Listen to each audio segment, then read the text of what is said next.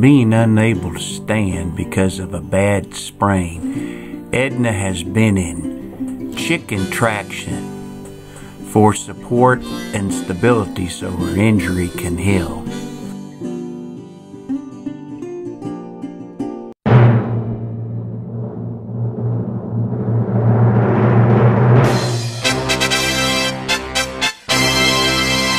I'm happy to report she's out of traction, standing and walking on her own. She's still a bit wobbly and not quite ready for the rigors of the chicken yard, but she is doing better.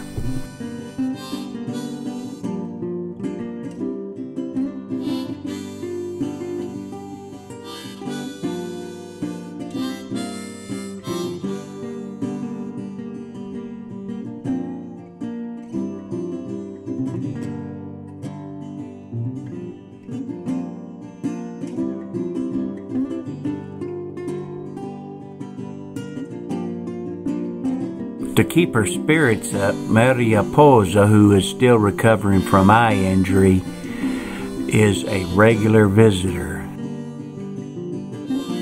And they like to share tasty treats together.